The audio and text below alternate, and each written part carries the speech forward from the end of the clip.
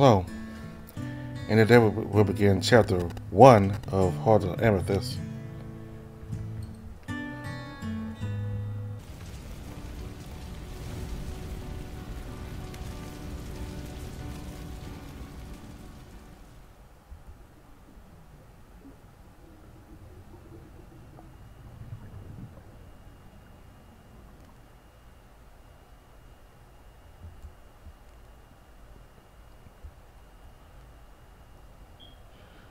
Dream again comes back from time to time, making me remember that dreadful night. The night I lost everything. I can remember it as if it was yesterday. The pain, the sadness, the despair. The sky looks oddly similar to the one I woke up to the morning after the attack. Even the birds are chirping in a similar manner. Or maybe I'm just overthinking it. Either way, there's no use dwelling in the past. I have an errand to run, and I'm already late. Better get going or else that geezer will give me an earful. I stand up from my not so comfortable sleeping spot, which is in the middle of a grass patch. Geez, my back hurts a lot. I shouldn't have slept on the floor. I looked back at the spot I was lying in. A little, a little me has fallen, formed in the grass. Proof that I've been sleeping there for quite a while. I then turn my gaze towards an impressive royal castle. I'm currently on the main road of the market district. The castle is standing beautifully in the distance.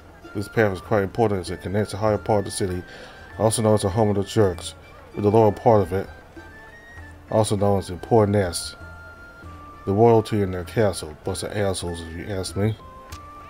Watch it, kid. Move out the damn road. While being distracted, an old man bumps into me and curses me while doing so. Sorry.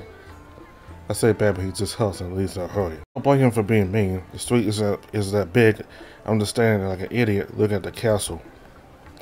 I take a last glance at him and then turn around to begin walking alongside the others. The streets are crowded as per usual. This is the capital after all. Look around, you can see many people carrying heavy-looking bags. Most of them must be farmers trying to sell their goods. The land of us canines is very rich. Sadly, on the other hand, we have the city politics that pretty much make it impossible to run a decent establishment in the city. So I would say the best option is not is to not be in the city. Any small village would do. Trust me on that one. You don't want to be stuck here more than necessary. What are you doing? Stop it, my cabbages. I hear screaming and upon close inspection I can see two guards taking it taking it out on a middle-aged fella. They are dismantling his selling post. The poor dude probably didn't know that street selling is forbidden. He's most likely an outsider. Nye, please, stop! He yells at the two of them as he tries to make them stop, but they don't flinch a bit. Instead, he's now on the ground with a bleeding nose because the guard hit him with his blade's handle. He has a certain accent, thus confirming my theory that he's not from around here. I feel sorry for him, but there's nothing I can do. Dare I intervene, and I'll end up just like him or worse. It's more trouble than it's worth. Besides, we all learn to deal with the city guards. One way or another, this would never this would happen eventually. Welcome to the Yaganir. After a while, I decided to ignore them and, and carry on. My mood ruined by that miserable display. It doesn't take me long to retrieve the old man's order of meat. We were running low in the stock, so I had to pick some. I paid ten silver Andras coins for it. A little expensive, but meat has always been expensive.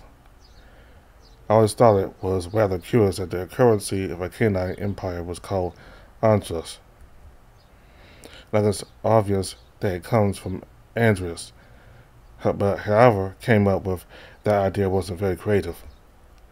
As I walk back, I don't see the campus do anymore. He probably picked whatever he could and left. The guards most likely confiscated the cabbages. I can already picture the scene in my head. They're supposed to protect us, but all they do is use their power to terrorize the people. Things have been in a very bad state for the past 12 years. Those rich bastards do whatever they want at the expenses of the old and useless king, including creating a stupid law against street selling, worthless pieces of scum. I'm sorry, noticing how useless it is for me to be getting this worked up. It's not like I can do anything about it. I'm lucky I wasn't here the first two years of this. The old man talks about the many riots that started 12 years ago. Shit got ugly real fast, and then the guards have the authority to terrorize whom, whomever they see fit, as it is royal decree. I decided to drop the topic and just keep walking. I'm not that far away from our stop. I'm back. Sorry for taking so long. I just stop and yell as hard as I can. He won't admit. He won't admit it, but he's clearly losing his hearing. Soon, um, Mr. Biscotti walks into the room. He's still the same good old Biscotti. He hasn't changed much these past years. The old man's built like a ox after all. Chicken enough, boy. Welcome back. He welcomes me with a warm smile. His clothes are a little dirty and dusty. He's been likely rearranging and cleaning up the shop, and most importantly, the back room. Did you bring what I asked this time, or will I be stacking wheat instead of the meat? The old man begins to laugh hysterically. Poor guy thinks he's funny. Yeah, yeah, that's just happened once. Besides, potato, tomato, not really a difference. He raises his eyebrow, is suspecting that I actually brought wheat. But as I place a bag of meat on the counter, he smiles back at me. I'm not that stupid, you know. Never said you were. Still, you're not denying it. He said nothing to that, which makes me wonder if he actually thinks I'm that dumb. Either way, I decide to take off my cloak and place it on top of my desk, which is quite the mess, I must say. What took you so long? You didn't run into any troubles, did you? I had to fight off five guards that were terrorizing a, a poor helpless man. I strike a heroic pose, trying to portray myself as some part, as some sort of savior. Really now, how come you, you're not injured? Because I'm a really good fighter. I shrug. Ellie, what really happened? He puts on his fatherly face once again, clearly worried about my well-being. Why don't you believe my story? Because I taught you better. I smiled back at him, trying to ease his worries. Now I'm fine. Just took a little nap on the side of the road. No biggie. If you need to take a nap, why not use your bed? When the grass looked fairly comfortable, don't blame me. And it did, but I guess I was wrong because now I have an aching pain in my lower half of my back. Whatever am I going to do with you, boy? You need to take the situation more seriously. What if you get? He stops on his tracks to find the right way to proceed with that sentence, but he gives up. But he gives it up eventually as there was no way to salvage that. This turned to be a really uncomfortable situation. So I decided to cut him some slack and apologize, though, did get all worked up over something so silly. Look, I know what you're going to say, but I'll be fine. Sorry for worrying you. I'll try not to let it happen again. He smiles at that and walks towards me and waited myself for a hug, opening my arms wide. But instead, I receive a punch on the back that makes me jump in pain. What gives, old man? You seem in pain, just trying to help you. He mischievously smiles back at me as he takes the meat with him and locks himself up in the back room. Avoid the place the impact, trying to get rid of the pain. Sit, this was this will leave a bruise. Probably. Need anything else? No need, kiddo. Just do your own thing for the rest of the day. I smile at that. It's always a good thing to have time for myself, although, to be honest, there's not much to do. I don't have many friends. Not anymore, at least. And the store looks clear enough, so I don't have to do that. So, what shall I do?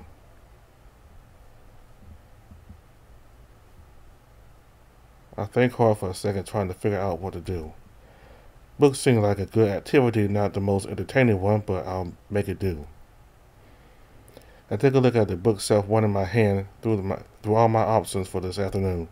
We own a decent amount of books, and I've read most of them, except for my biggest enemy, the World's Encyclopedia.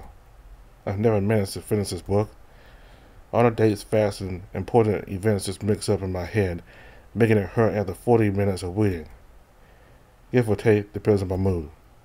Well, maybe today will be the day. Might as well give this whole thing a try.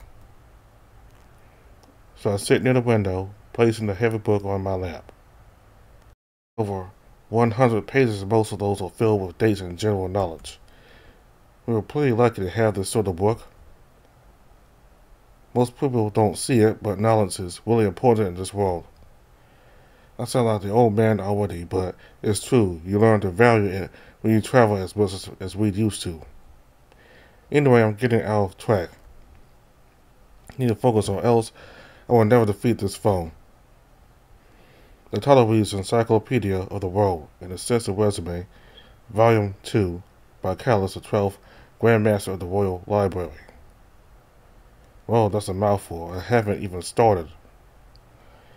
Despite that, my will is strong today, so I pick a random section of the book and dive right in. After the goddesses created the world and the three races of it, the 200 years passed before they decided to bless us with their magnificent gifts, which made the survival rate go up. Ironically enough, just 500 years after those were given, the divine plan backfired. The birds from the north decided to colonize the rest of the land. Killing the neighboring tribes is a soft fit. This world, this would situate us in the year 3700 prior to Andros, approximately. The war was initiated with the invasion of the birds on feline territory. The felines, who by that time populated, populated the plains of the east, but cast away, relegating them to the east desert. The deadliest wasteland you can ever imagine. No crops can grow in such a place, and the, and the water is quite scarce. If more information about the wasteland is needed, please check the flora and fauna section of this volume. The horrible condition that the felines found themselves in made them migrate further east, where they discovered the virgin island of Athenia, making it their new home. This process took over 1,000 years approximately. Even then, some feline tribes decided to stay in the continent and live in the desert, creating the first scavenger tribes, which we, which we shall discuss in the following volumes tracing back to the bird conflict as the felines migrated east, they continued their relentless expansion on a mountain section of the continent, setting their eyes on the south, seeking to cast away the canines as well. By that time, the canine tribes were quite sparse, so against the growing empire of the birds, we didn't stand, a, stand much of a chance. They killed thousands and thousands and enslaved even more. Luckily for us, the mountains and and forests proved to be a safe haven, allowing a few to escape there. This status remained for over a thousand and two hundred years, meaning that by the time the felines had finally set in Thenia, the canines were being secluded to the icy mountains of the west. This wouldn't last because, as the birds thought their victory was secured, a civil war ignited between the two opposing political bands. More information will be presented in the following volumes. The Canines used this opportunity to take the capital of the Burr Empire, burning it to the ground, and freeing their comrades that were being held as slaves. This event took place in the year 1950 prior to Andros. See, I'm going to stop there. So many dates, wars, and whatnot are making my hair hurt a little. Although that last date, the Canine Empire technically started in the year 1,950 prior to Andros were, and we are currently sitting at the year 567 after Andros. That means that's uh, that our society has over 2,500 years in the making. This can seem like a lot, but considering that the whole continent was stuck at war for the most at war for the first 2,000 years. Besides, there's one more thing. The fact that the apostle is never mentioned in any history book that makes in the history book makes me curious. I don't know if my mom made up that story or if it just went lost with time because pretty much nobody knows about the existence of the guy. And the church makes it look like Andreas was the sole savior of the world as he stopped the whole war by himself. Anyway, enough for today. What else is there to do?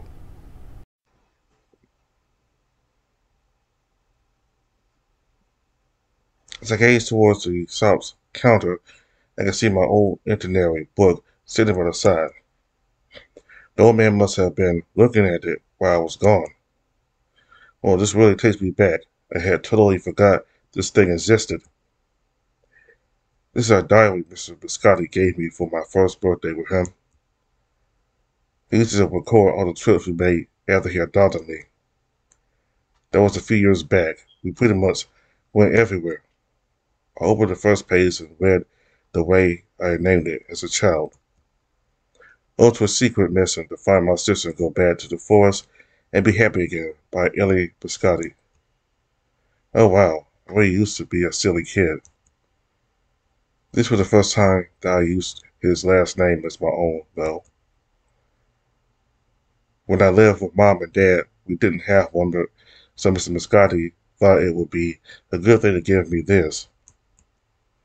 See, that old man has really done a lot of things for me, huh? I flipped through the pages. In them I described the many trips and plans we came up with trying to find Mary. We pretty much swept through the whole canine territory looking for her.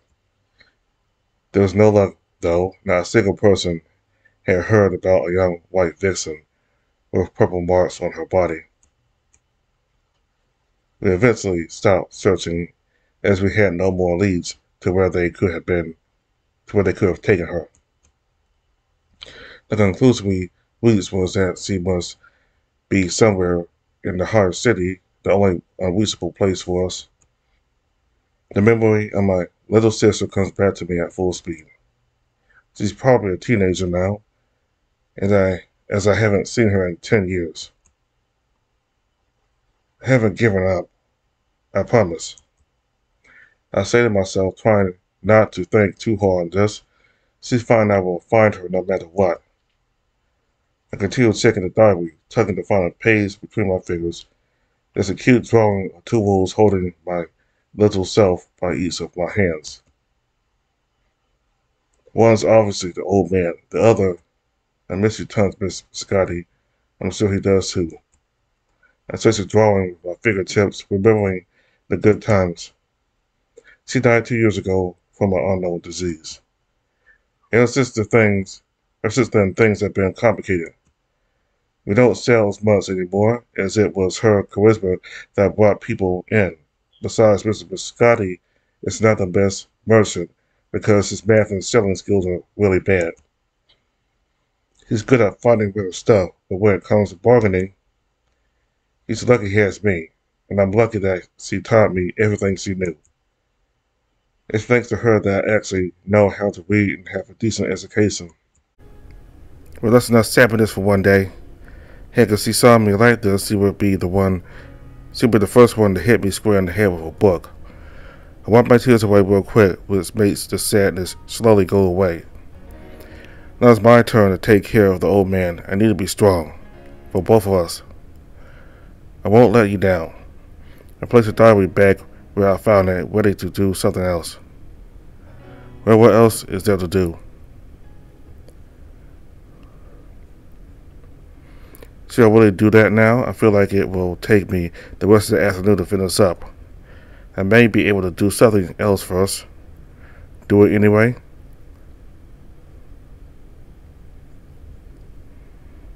This is by far my least favorite activity, but I might as well use the free time to sort out my mess.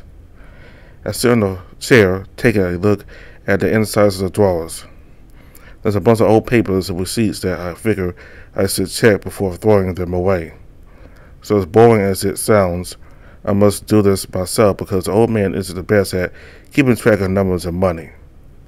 So yeah, here we go. Fun times. The afternoon goes by rather quickly. I just finished checking all the papers stuck in my desk. I wrote down all the important data and then threw away all the rest. I leaned back on the chair and sighed. This was supposed to be my free time, and I ended up wasting it with work. And take a look outside, there's still a few stragglers finishing up their day.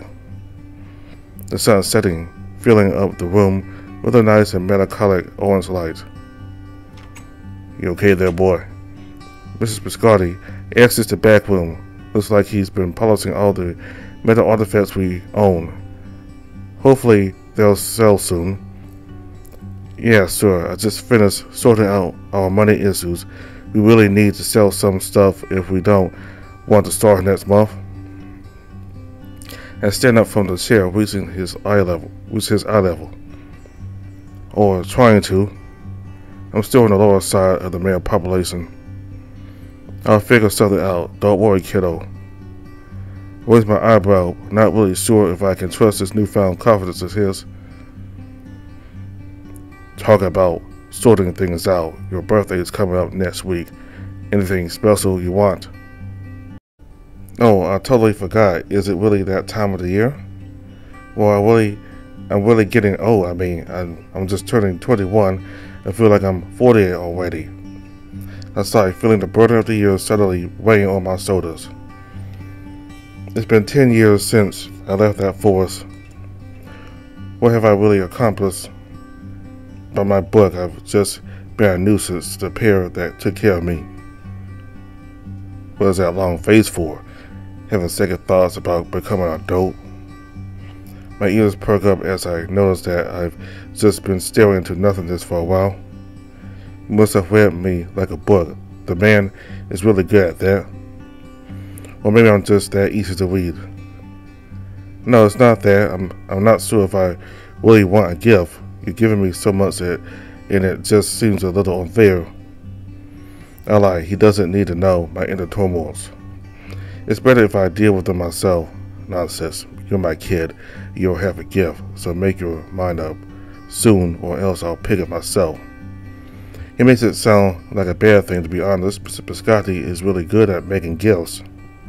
It is, a, it is as if he knew exactly what I wanted just by looking at my face. I'll give it some thought. Thanks, old man. He pats my back and then climbs up the stairs to his room. His heavy footsteps make it sound like the wood will break, but this house has been around for generations, so I doubt that'll happen. I should hit the bed myself. I'm spent. I take a last glance at my desk. Everything seems in order, except for buried among some old papers I, which I must throw away tomorrow. There's an old rusty medal. I grab it and in it. It's an old emblem that I ripped off from that bastard's cloak. It brings back bad memories. That's why I stored it in the drawer. I don't have I don't like having it around, but it's true that this is the only lead that I have left as to, as to where my little sis could be. I grip it hard to leave him the marks of the, of the metal on my paws. Thinking about them makes my blood boil. To be honest, I don't know what this thing is or what the symbol means. No person that I've asked has given me answers. Maybe I should take it with me again, just in case. With that in mind, I stored the emblem in my pocket then blew off the candles and head to bed.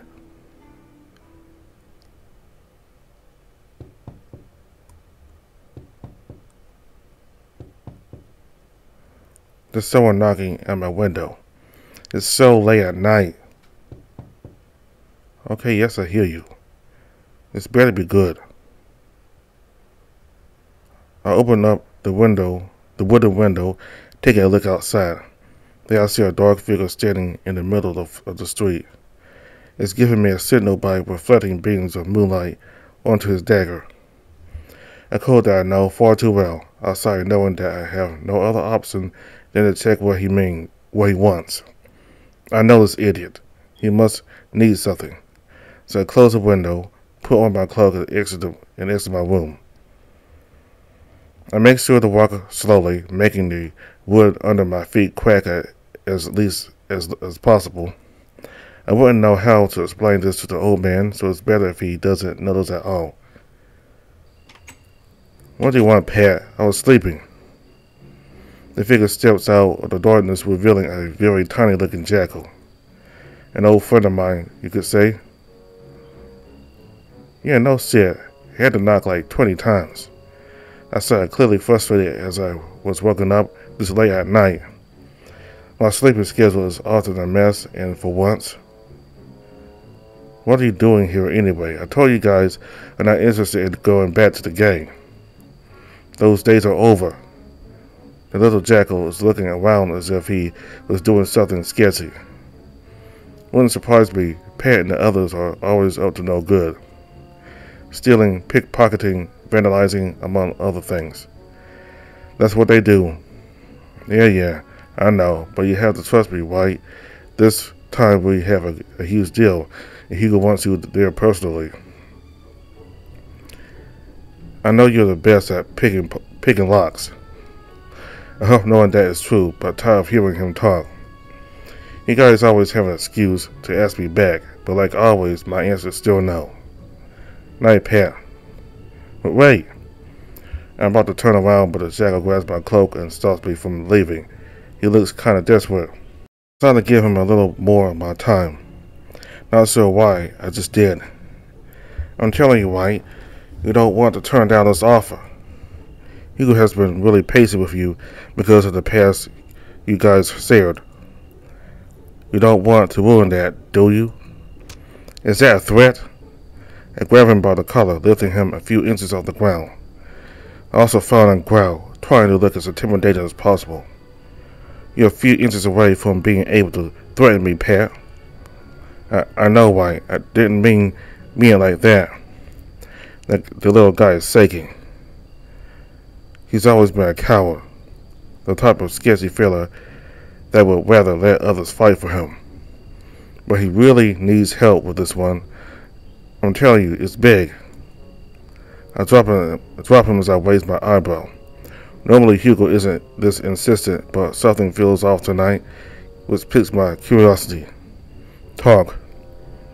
I say coldly, but ever so, but ever so the jackal smiles happily. I knew you would come around, White. Hugo will be happy to see you. I haven't agreed to do anything yet. Talk Pat before I lose my temper. The little guy squirms around, clearly shaken by the threat. He takes a few steps back from me and then clears his throat. So, um, you know the king, right? Obviously not.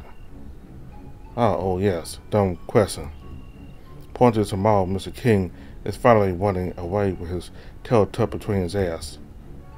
A reliable source told us that tomorrow multiple carriages will reach the port at noon. With the king among them, of course, but most importantly, many of his riches. Wait, are you guys planning to? Yes, we'll steal from the king himself.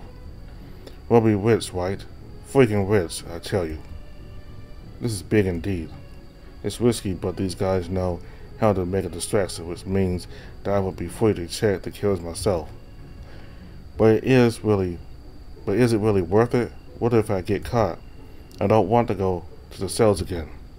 Seeing Mrs. Biscotti expressing as he saw me in the dungeon at that time was heartbreaking enough. That being the real reason why I left the gang in the first place.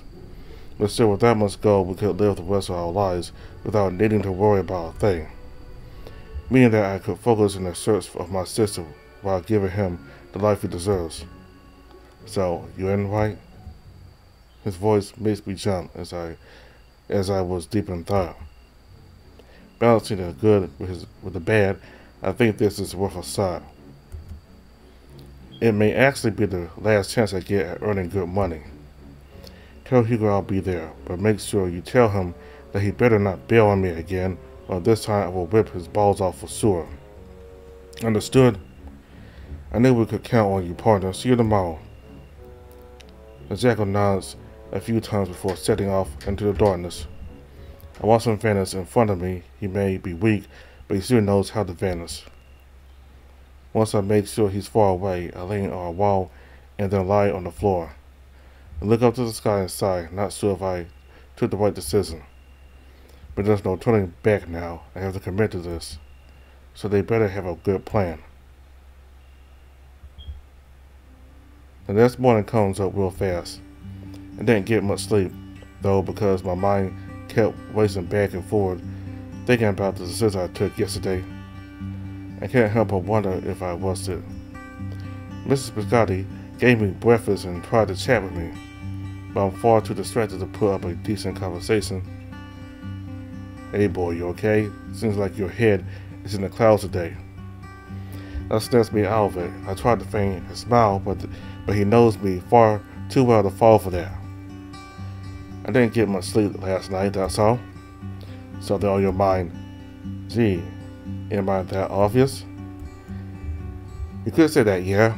I'm just um not ready to be grown up. I try to come up come up with something on the spot. He has no reason to doubt me, so I hope he buys it. Well, it has its ups and downs, but you'll get through it. You're a really smart boy. Oh yeah, thanks. Really, is that all you got? Come on, Ellie. Come up with something else. Oh, I was thinking. I still haven't decided on a gift yet, so I'll, so I'll do that today if that's okay. Don't worry. I'll just be out for a while after lunch. Need anything from the central market? He places his hand on his chin and looks up, probably trying to remember if he needs anything. Eventually, he denies with, with his head. Not at all. You do your thing. Be careful, okay? Thanks. We didn't do much for the rest of the day, but when it was time for me to leave, the guilt in my gut almost ate me alive. Because when he saw me leave, he smiled.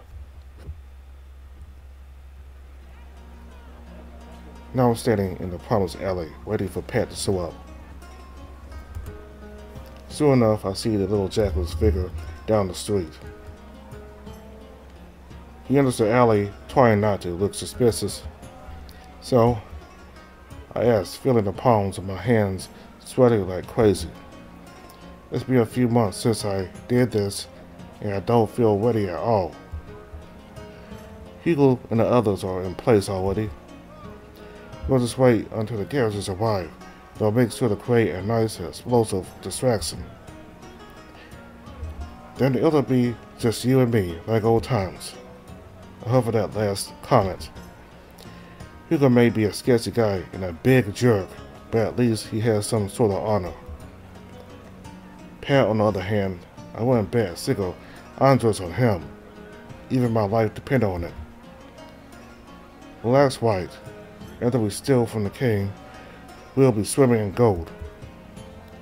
So, what's the signal? Oh, trust me. You'll know. Just wait for the big bang. Ears perk up at that. Does that mean Hugo's using his fire magic again? Oh, Hugo used fire magic again. Is he crazy? Don't worry, White. He won't. This time, our provider made a deal with a merchant from the east. And you know what they say. Cats make the best explosives. He winks and giggles back at me, not really calming me down. The opposite, really. Well, at least that idiot won't be using magic. Although what sort of benefactor did these guys get this time? If they bought from the felines themselves, they must be wealthy. No use beating around the bush, need to focus. Okay then, we need to climb this roof so we can see them coming. After you then. I move to the side and allow him to try to jump onto the wall. The little jackal tries to climb the wall, but his legs won't even reach, making me chuckle at the sad sight in front of me. He hurts annoyed poor fellow, can't help but be tiny. I kind of understand his pain. I'm not the tallest man around, so I decided to not be a jerk and help him out. Here, give me your foot. I squat, placing my back to the wall as I join my hands together, giving the little guy a stepping place. Can we not talk about this? My lips were sealed.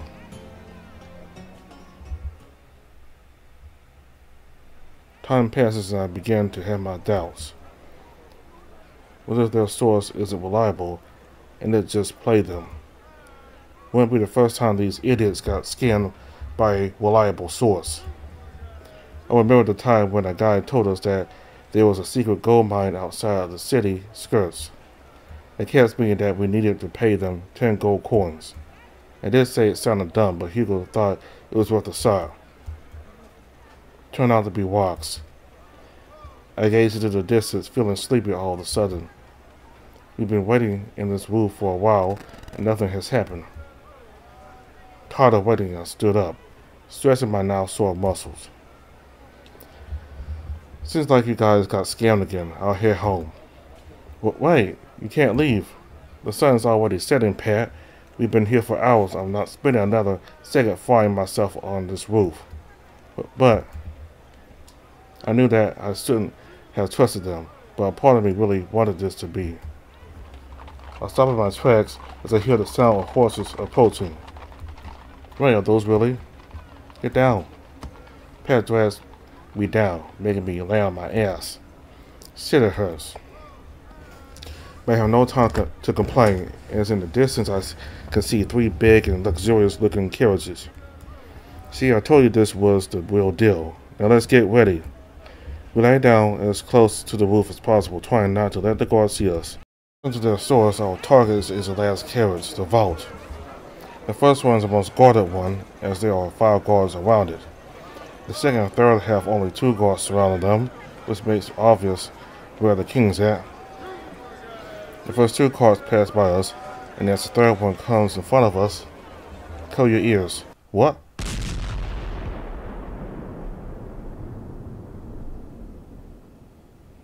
Before I even acknowledge what's happening, there's a big explosion in a building a few houses ahead of us. It was really big, bigger than anything I've ever seen.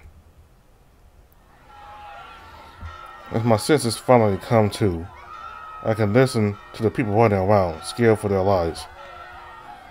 The smoke fills the streets quickly.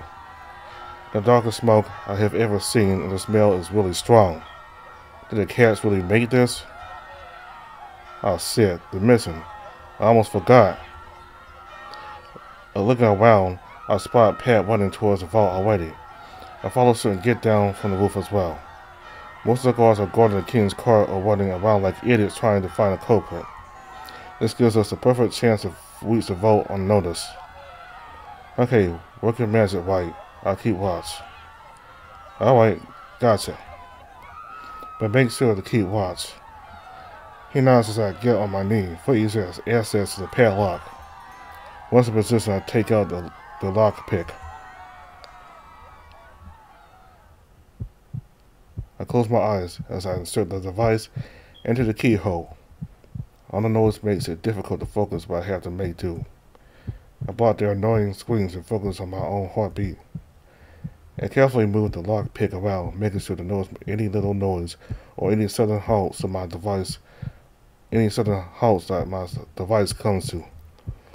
The first gear takes takes me some time, but eventually manage to break it. From there, the second one breaks easily. Yet the third, however, will ya? Shut your mouth, Pat. These things take time. He goes, making sure not to make a single noise. And while I appreciate that, I would appreciate breaking his nose even more. But that's besides the point. Either way, I close my eyes again. Come on, just two more and we're done. You can do it, Ellie. There you go. The third one is finally broken. See that jerk put on a real fight. Come on, baby. Just one left. I can do this for sure. There, four. Pay I got. Something extremely heavy hits me, sending me flying across the street. I swear that I heard my bones cracking. I hope to be wrong. I try to regain my strength, but I can't breathe and my limbs feel numb. My head is spinning and everything is blurry. I can hardly see a thing, just shapes running ahead when I rouse. What the hell hit me? Don't move what? As I was trying my hardest to stand up, a second hit to the, to the gut surrenders me to the ground. I puke a little, feeling my insides suffer from the sudden pain. My mysterious attacker pins me under him, making it impossible for me to, to escape. Shit, this dancer is heavy. I feel him like I can't even lift a finger. What is he? A bloody bear? Put out that fire and make sure the king is safe. His voice is strong and carries a lot of power. He's even a little scary. I can't really I can't really see who is he is talking to. All I can barely do is hear pieces of what the others are saying, but nothing is clear. Damn, my head hurts like hell. And you, stand on your feet. I'm taking you with me, rat. He grabs both of my hands and places them back and places them behind my back then forces me up. Lifting me as if I were a mere feather. I grind at the pain and try to break free, but he has an iron grip. It's hopeless. I've been caught. Again. Slowly my vision comes to. I turn my head around, finally catching a glimpse of the scary looking wolf man that has been keeping me captive. He was a big black wolf, at least a head taller than me and pretty much a mass of muscles which I can easily notice under his heavy looking armor. He has a few scars on his face, a face that gives off a certain aura of authority and power. An overall scary looking knight. Looking around, there's not a single person on the street anymore. They must have all fled because of the explosion. While the screams quieted down, all I can hear is the snapping of, of the fire.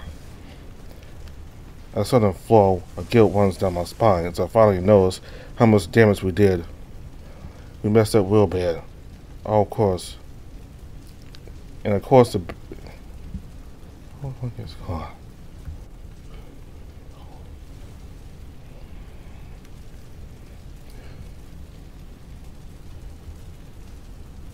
An overall scary looking knight. Look around, there's not a single person on the street anymore. They must have all fled because of the explosion. With the screams quieted down, all I can hear is the snapping of the fire. A sudden flow of guilt runs down my spine as I finally notice how much damage we did. We messed up real bad. And of course, I'm the idiot that gets caught. I'll kill Pat, swear it. Please do, let go. I didn't mean quiet. Speak another word, and I'll cut off I'll cut your head clean off. He he can't do that, can he? I took him up again. He has a claymore attached to his back, which is not surprising because he probably has the strength to swing that thing as if it was a mere toy. That sight makes me go, as, as I know that he's not just bluffing. He can kill me easily with that thing. I frantically tried to break free from him, but the wolf wasn't letting me wasn't letting me go anytime soon. Try me. He whispers to my ear, making me making my blood run dry.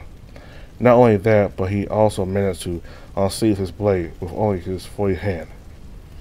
I'm screwed. He held me there for a while until the sun had almost disappeared into the horizon. He never got tired or even moved an inch. He just commanded the other knights and waited. The fire has been put out and the other guards are dispersing the curious ones that wanted to get a glimpse of what was happening Captain, everything has been taken care of. One of the many guys that has been running around approaches us, bowing in front of my character. I guess this jerk is a big deal. Well done. Go back to your post. The knight nods and walks away as quick as he came, not saying a word and never looking back. Now there's only one thing left to do. I quickly found myself being forced to the ground. The big wolf hit the back of my leg giving me no other option but to kneel. I'll execute you right here. That ought to teach your buddies a lesson. He gets his sword ready. One swift strike from there and I'm done. Am I done? Am I really going to die here? But please, don't do it. I would stay still if I were you, or else I might not cut your hair properly. His voice is cold. He's really going to do this. I'm so sorry, Mrs. Biscotti. Suddenly, the door of the front carriage opens and a very old-looking fella steps out of it. He is wearing a very expensive-looking suit and looks as if he would break at any given moment. I've heard rumors that the king is over nine years old, but seeing, but seeing it this close, Your Majesty, please remain on the cart. Everything is being taken care of. Well, if everything is being taken care of, then I don't see why this old wolf can't stretch out his legs a little. The big man grumbles but says nothing else. Meanwhile, the king turns his gaze to me. Or I think he does. I can't tell for sure because of the hair covering his face. Much closer as he is clearly inspecting me. Then his eyes land on mine. He stares at them for a full minute, his face turning sour as if he just saw a ghost. This is honestly a little embarrassing. By the goddesses. Sir Roderick, who is this boy? He's a mere street rat, your highness. He'll be executed on the spot as a lesson to the others who will most likely be watching this. The mention of my execution makes me tear up a little. No, I don't want to die. Please don't. Quiet. Don't you dare speak in front of the king. At ease, Sir Roderick. No one needs to die, especially not such a young soul. That seems to set him up for good. He didn't let go of me, though. A guy can dream. Here, child, stand up. The king kindly helps me back on my feet. Of course, I'm still stuck on Roger's grasp, but it's better than being on the floor for sure. He never stops looking at me as if I were an, a, unique animal that he just found. Heavens, it's really you. What now? I say back, but, but I clearly irritated Roger as he holds me tighter and hiss from the immense pain.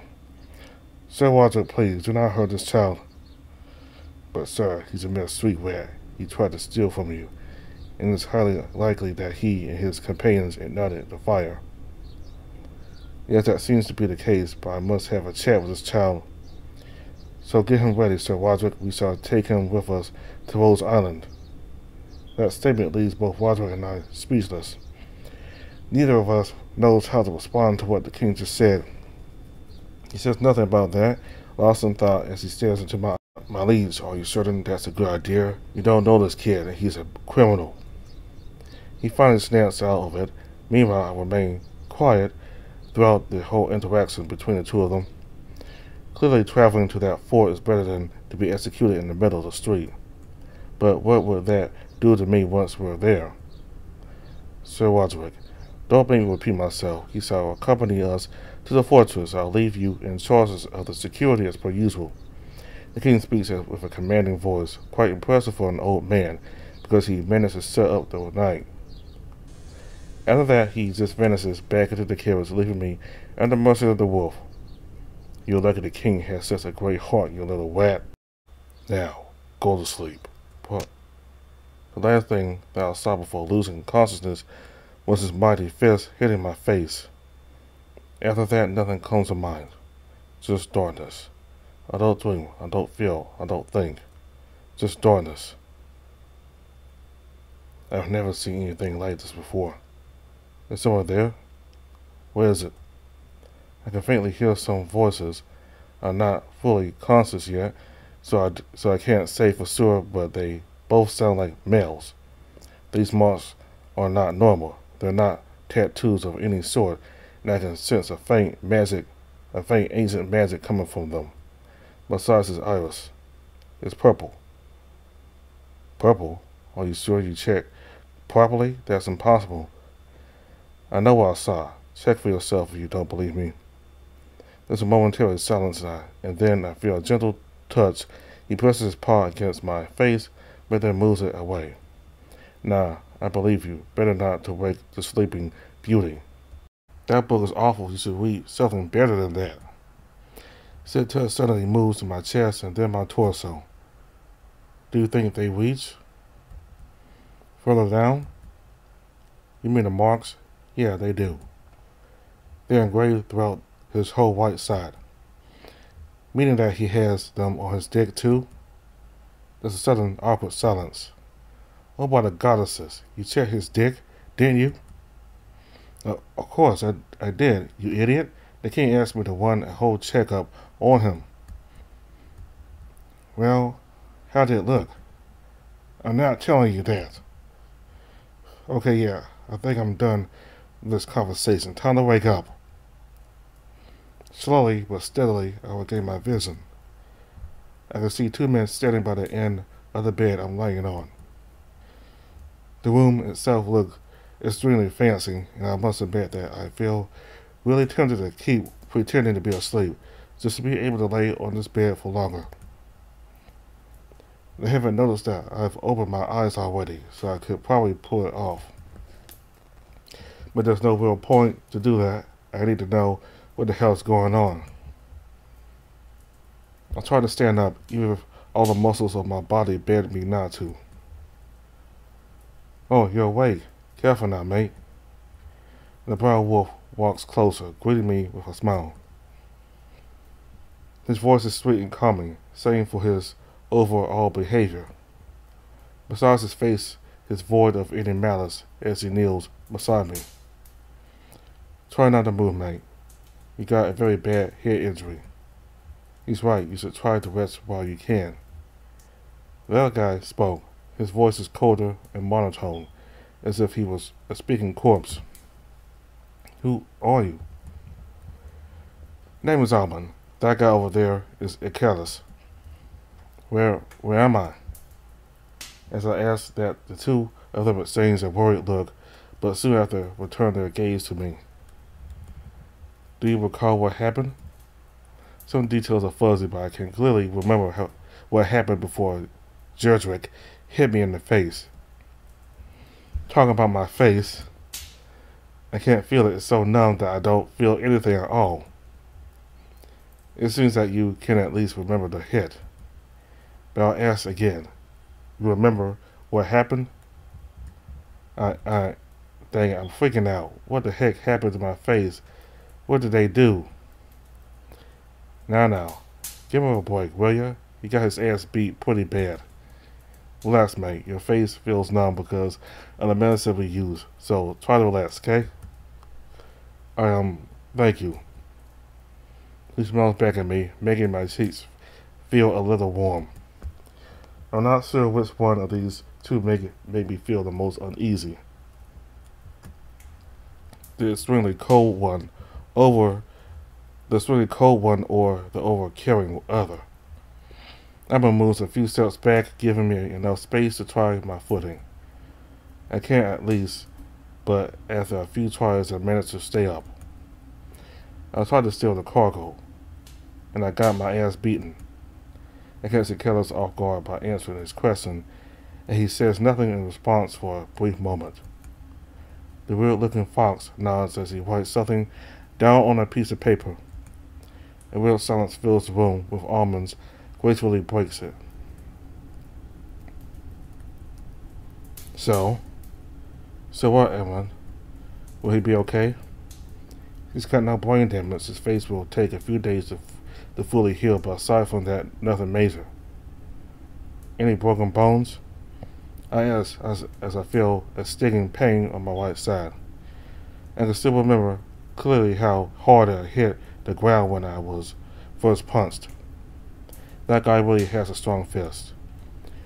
Not luckily, but I can understand why you would feel pain. Roderick mentioned that he kicked you quite hard, so if you have problems breathing, let me know at once. So, so it was a kick. Good to know. Still thinking back, to, still thinking back, I had, I really had it coming. I still have never trusted those guys again. They always find a way to get me in trouble. I'm dumb enough to fall for it. Wait, you didn't answer my first question. Where am I? Sorry about that. We needed to check if you remember anything. We're on Laguna Fortress, Rose Island. So it was true, but why would the king bring me here? Laguna Fortress is a castle built a few centuries ago. It's situated in the middle of the Great Lake in Rose Island, which is not far from Yagnir. In few words, this is the royalty's second castle. I'm sure he'll explain it to you. Don't worry, mate. Talking about that, we should let Roderick know that our guest is awake. The king wants to meet with him after all. The mere memory of that black wolf makes me shiver. I was hoping to never see him again. Well, it is kind of like, wouldn't it be better to wait until tomorrow? How long was I out? Just about the moon position, it's past midnight. Past midnight. That means I've been here for at least six hours. Mrs. Biscotti must be worried sick. See, I need to go back to town. There's someone important to me there. You're not going anywhere, what? The black wolf, wolf enters the room suddenly. It seems as if he was listening to the conversation and waited for the perfect time to make his entrance. Can he walk? His tone of voice seems rather irritated. Can't help but wonder why. He barely can. Maybe the, maybe try not hitting the king's guest next time. He should be a prisoner if you ask me. Doesn't matter. Get yourself decent one. The king wishes to speak to you. He moves a little closer to me, insert his hand to grab my wrist. Luckily for me, Almond intervenes and forces the knight to take a few steps back. What do you think you're what do you think you are doing?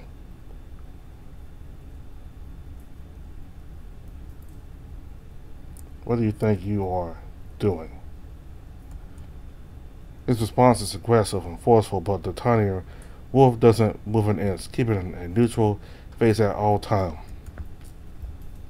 He needs some time. We should wait outside while he gets changed. He gives me a quick, soft smile, then turns around and opens the door for the other two, clearly signaling them to step outside.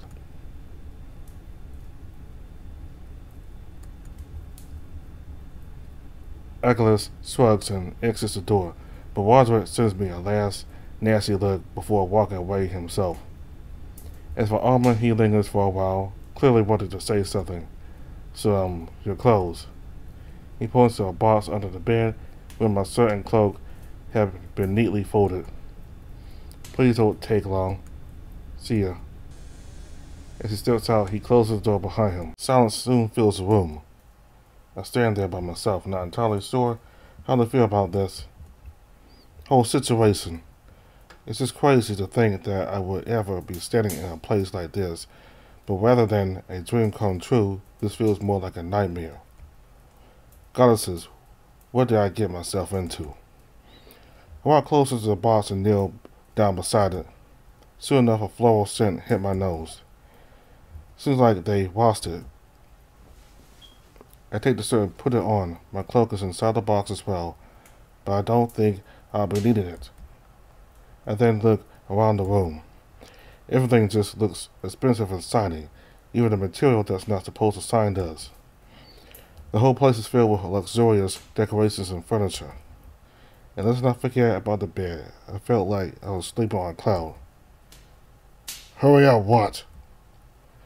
I hear Roger yelling from the other side of the door.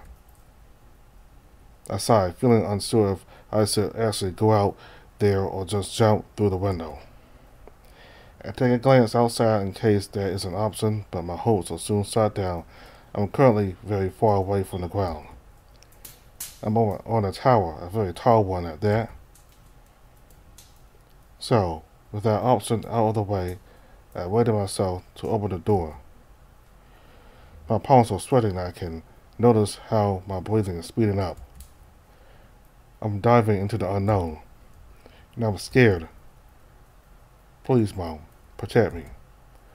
I say to myself, finally grabbing the handle and opening the door.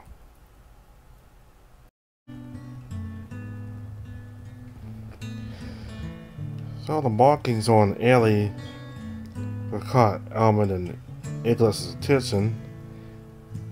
It's clearly clearly strange to them.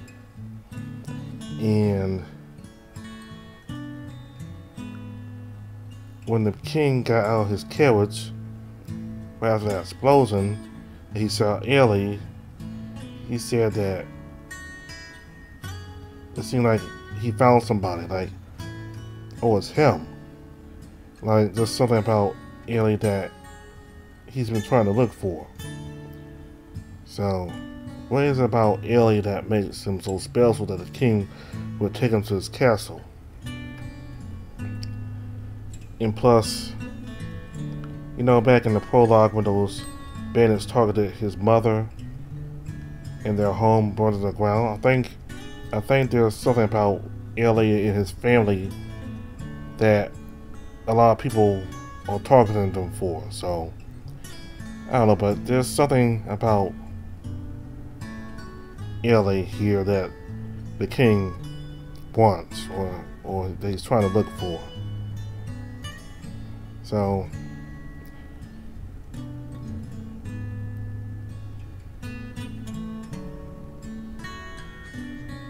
I don't think Ellie's gonna get in that big of a trouble.